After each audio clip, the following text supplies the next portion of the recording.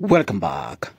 Kuna hii accident na ambayo ilifanyika pale Nithi Bridge, pale ambapo wanawake walikuwa wanatoka Parental Blessings upande wa Meru, lakini ile gari na ambayo walikuwa wanarudi nayo ikapatana ana kwa ana na pickup na wakagongana na watu kumi na wawili wakaweza kuaga dunia ikiwemo watoto wawili.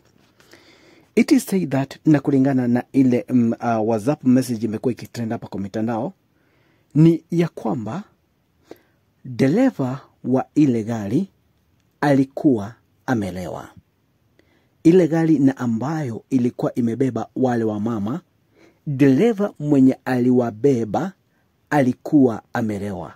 Kuliendaje, ladies and gentlemen? Before, before niwambie what happened, kuna hii picha na ambayo waliweza kushare before waelekee kule walikuwa naenda pereto Blessings, na kuna hii video na ambayo nimecheza hapo juu, ni inaonyeshana wale watu ama wale wamama walikuwa wanasherekea pale, na it was enjoyable, na sherehe ilikuwa imeenda vizuri.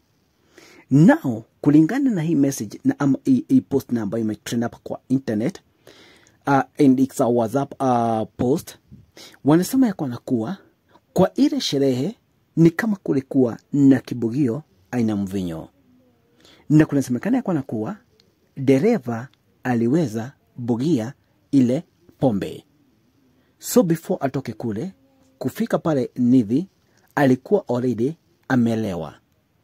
Na ni mgeni kwa ile barabara, so confusion came wakati fika hapo kwa bridge, na kunaonekana ya kwana kuwa ile accident iliweza kutokea because of him, because alikuwa mlevi, kulingana na hii post na ambayo ina trend hapa kwa mitandao.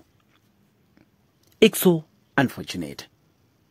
The big question is, kwa nini wale wanawake ama wale uh, watu na ambao ambao ni wanawake, walikuwa wameenda na huyu driver, kwa nini wakamuitikishia ama wakaona anabugia and they allowed him.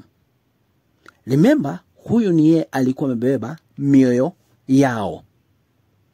They allowed him kubugia kileo, na walikuwa najua vizuri sana watarudi, wangemuona akibugia ile kileo, wangemukomesha ama wangemwambia awachane nayo.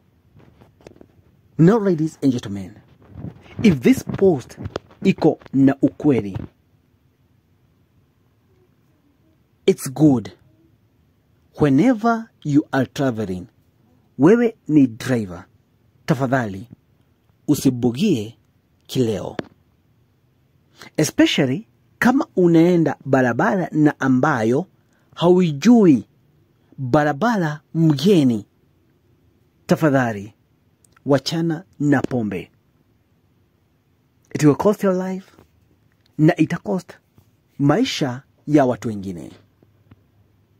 It's so painful. Ukiangalia kwa ile video, hawa ni wanawake na ambao wako na miaka early 30s, wengi wajafikisha miaka 40 na walikuwa wameenda tu peleto uh, Blessings and kurudi wote wakaangamia. Wengi ni wachache tu waliacha, watu kumi na wawili waliweza kuangamia kwa ile ajari It's so painful. What's your take on this, ladies and gentlemen? Please make sure you subscribe to my YouTube channel.